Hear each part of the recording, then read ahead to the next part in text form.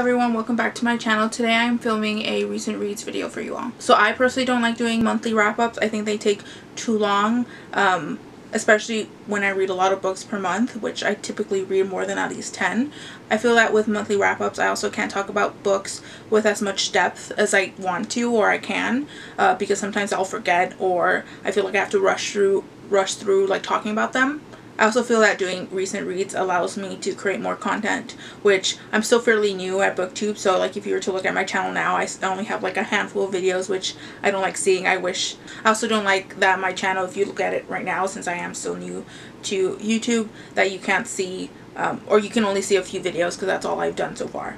So today I have a handful of books. Some of these I listened to audio, some of these I got from my library, and some of these I read physically. So starting with the first book, I was sent this from the author's team, so thank you so much to, I believe it's Stories Untold Press.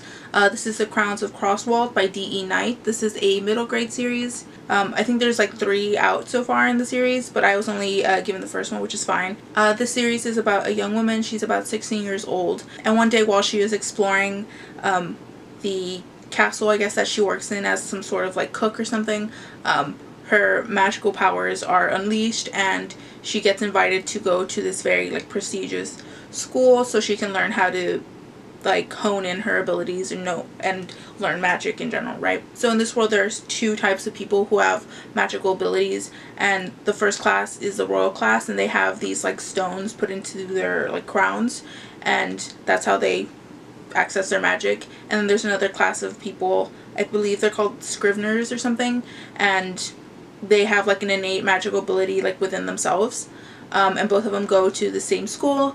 Uh, so we have a little bit of a school setting. There's an evil witch like antagonist that is like threatening uh, our main character, and that's kind of where like problems lie.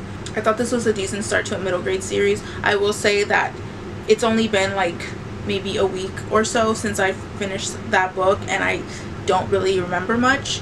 Um, and I think that's because our author didn't really take the time to explain how the world worked. There's definitely some things, some elements in the story that is unique to the world that the author created, but I don't think she went in depth with it. I think she really wanted to kind of just get to the like good parts or the actiony type parts and we didn't get to explore the world.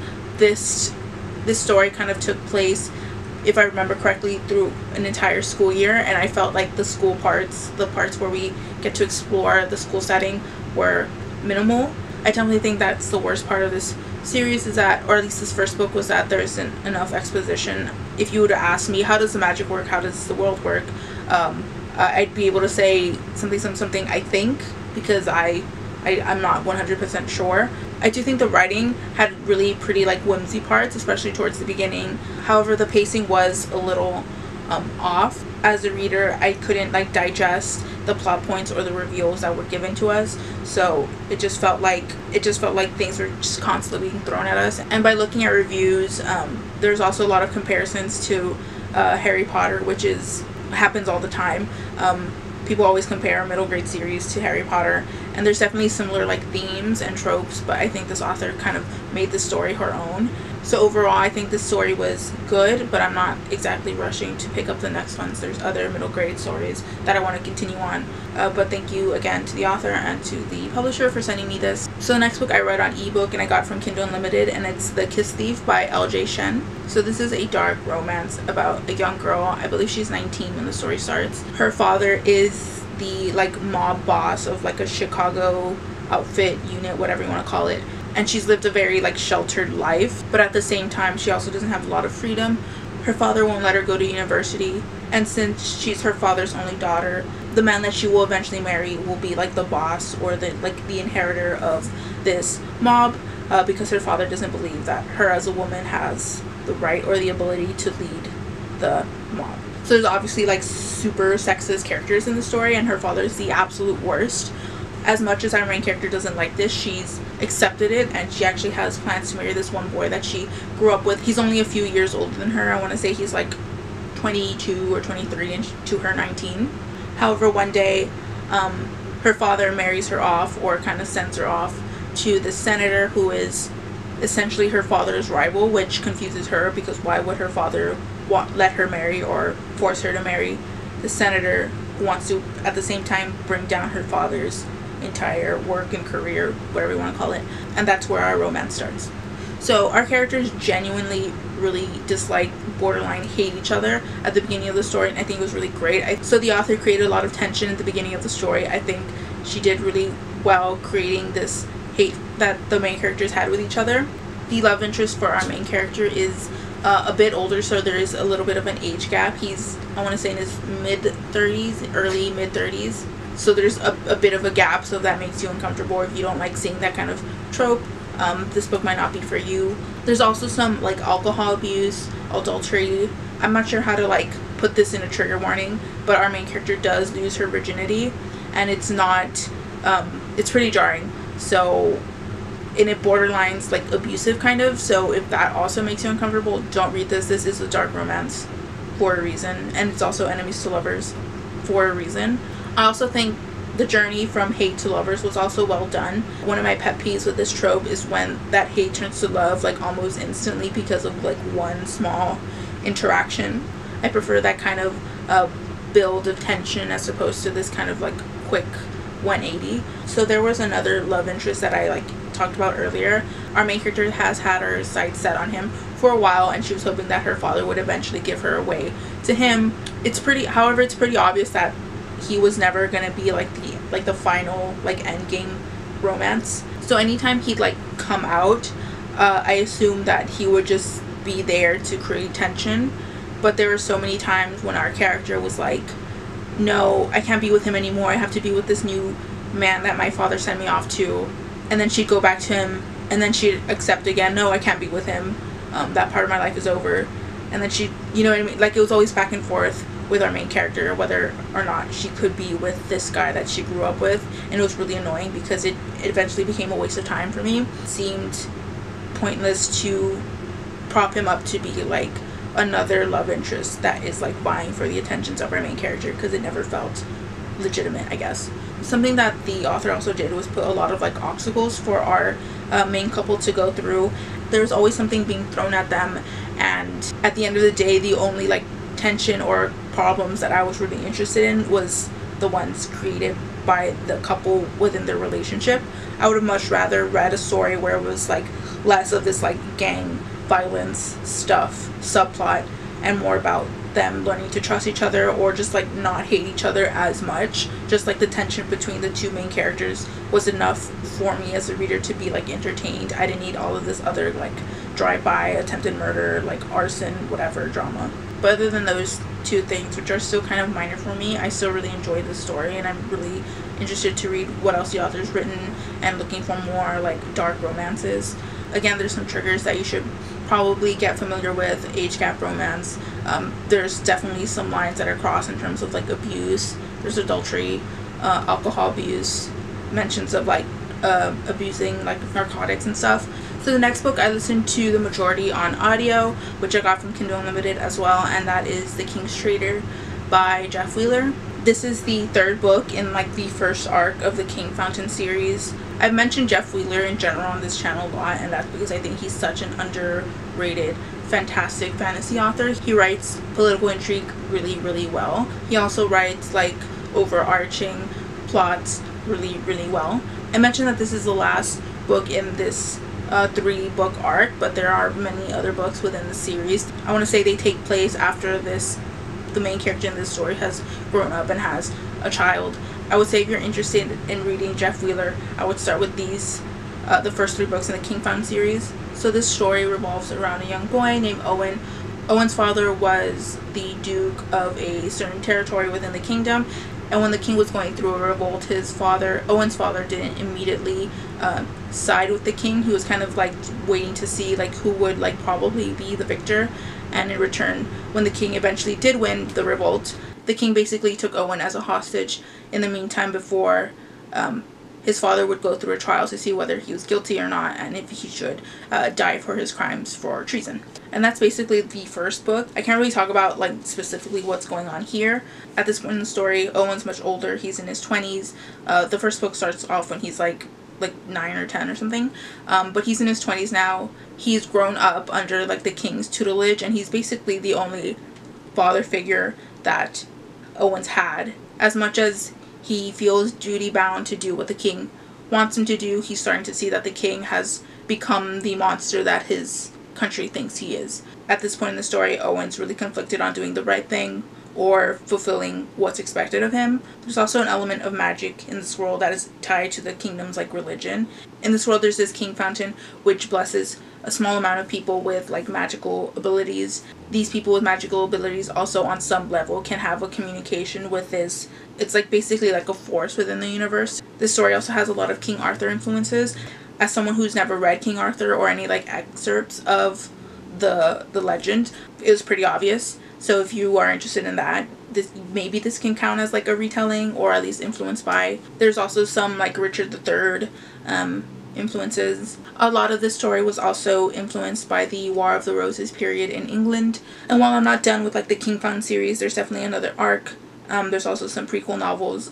I would definitely give this arc like 5 out of 5 stars. I think Jeff Wheeler's such a great author and I wish like more people read him. He also has like a backlog of books and series. Most of them actually take place within this kind of same realm. Please let me know if you're a Jeff Wheeler fan as well because I don't see a lot of people talking about him, which makes me really sad. So the next book I read as an ebook and I got from my library, and that's Pride by Ibi Zoboi. This is a modern Pride and Prejudice retelling, specifically talking about gentrification and class. Our main character is black, Dominican, and Haitian, and she's lived in the same um, neighborhood her entire life. She's lived in the same building her entire life. Uh, a family moves across the street from her home, and it's pretty obvious that this is a wealthy family and pretty quickly our main character starts feeling a change within like the community our main character almost immediately feels negatively towards this new family that's moving in. She doesn't like change in general, and this whole book is about not just change within the community, but change within herself. Our main character is a senior in high school, and she's also getting used to the fact that she's also going to be leaving her home. As excited as she is to go to the college that she's always wanted to go to, she's also really nervous about it. She's also really nervous about leaving home. And I think there's a lot of relatability here. A lot of the things that she's feeling leaving home and going off to a college that's not like immediately like down the street or anything. I felt the same way going to a college that was like nine hours away from my hometown and that was really uncomfortable and really nerve wracking. But I enjoyed reading that here because I think it's really real and authentic. Ibi Zoboi also has a really good voice for teen and YA characters. It didn't feel like this is an older person writing a young younger voice it felt real. I think the best parts of the story weren't necessarily the romance. Um, the relationship that she had with her sisters is great and the relationship just in general with the community was really great to read. This was also a really quick read so if you're looking for a book to binge that's also written by a black author you know in light of the black lives matter protests going on i do wish that the romance between our main characters was fleshed out it almost felt a little instant and I, I personally didn't get like a good moment or pivoting moment where characters stopped disliking each other. I wish that was done a little bit better and I wouldn't have mind if this book was like 50 to 100 pages longer because it was fairly short. But I think this was like a great lighthearted contemporary read, which I don't usually read contemporary. I was in the mood for a light contemporary read, so I'm happy I picked this up. I also wanted to pick up a book by a black author. Definitely the best part of this book was the family dynamics. It was kind of reminiscent of like how Jenny Han handled the family dynamics with her To All the Boys I Love series. That was a family of sisters, and this is also a family of like, a lot of sisters, and I thought it was really great and sweet, and I would 100% recommend. So the next book is definitely my favorite that I'm going to talk about within this video and that is Dear Martin by Nic Stone. I also think this is probably the most important book in this recent reads video. Our main character, Justice, is a young black boy going to a very affluent white like prep boarding school. So at the beginning of the story, Justice is very sure of himself. He's very proud of where he is now. He's happy that he's not in his old neighborhood. Everything's going really well for him. He's like on the debate team. He has really good grades. He has a bright future ahead of him.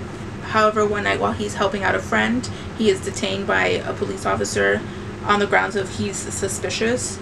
That moment kind of triggered something in Justice where he isn't as sure of himself and he's starting to see the world in a new way. Being detained by the police officer was really enlightening for him because he's now starting to see the world for what it really is. Um, no matter how hard that he works to be a good black person, there are still so many people in the world that will always just see his skin color and he's starting to accept the fact that a lot of his classmates that he's um, gone to school with for many years have very very racist behaviors and he's very uncomfortable with that. In order to cope with his like realizations he starts a journal where he writes to the reverend martin luther king jr and justice tries to use martin luther king's teachings in order to address the racism he has at least in his own life but he realizes that patience and kindness and pacifism only gets you so far, especially to people who won't acknowledge the systemic racism in many facets of our society. I think the story does a really good job of framing, especially right now, the Black Lives Matter movement, uh, police brutality for a younger audience. I think it also does a great job of like not just being a surface level discussion on racism. It's not just racism is bad because we're all equal. It's more like racism is bad and here's how certain people perpetuate it. It even touches on like microaggressions and like the small snide comments like she's really pretty for a black girl. Things like that is also discussed. So you get discussions on pretty broad topics uh, like police brutality, systemic racism in you know housing, real estate, or like the school system. But you also get discussions on like how to talk to your friend about comments that they're making or behaviors that they have. And I think this is great because it opens up the discussion on racism since so many people in this country assume that racism is wearing a KKK outfit and like saying the N word. It's so much more than that. That's just very surface level, very obvious racism. Just from this book alone, I think Nic Stone's to be an auto-buy author someone that I'm very interested in following. And the last book I'm going to talk about is the only book I've read physically, at least recently, and that is The Twelve Kings and Sharakhai by Bradley P. Beaulieu. This is an epic desert fantasy series that takes place in this uh, desert kingdom that is ruled by these 12 immortal kings who've gotten their powers from the gods that this empire worships. The kings have been in power so long, I want to say 300, 400 years, that they themselves are worshipped or respected or feared like gods themselves. Our main character Cheda spends half her time running um, valuables in like this underground black market uh, community and the other time like a pit fighter fighting like really tough seasoned veterans. However, through a series of events, Cheda has the ability or the opportunity to kill one or more of these kings. And in some parts, this is also a revenge story. So if you're looking for something like that, Cheda is kind of assassin-like um, I wouldn't give her that title per se, but she definitely has a lot of those qualities. Obviously, this book is really dense, it's kind of thick. My biggest critique is that some parts kind of drag a little bit. I really like reading Cheda's point of view. I think she's a fantastic I think she's a fantastic lead character. However, there's another character that got some screen time. Um, one of her love interests, or the main love interest that she has, um, got a lot of screen time, and we see the, uh, we have some of his point of view chapters as well. And I thought those were kind of boring. I didn't really care for his character at all. Cheda really, really loves this person, and the main reason why is that they grew up together. She knows him very well, but as the reader, I never understood why. In fact, he spends a large part of this book kind of avoiding Cheda for some reasons, and I wasn't interested in him at all. There's also another character that was really minor for the most part, and I think he's going to get more screen time in later books. I wish we got to read from him more so than um, the love interest that Cheda has.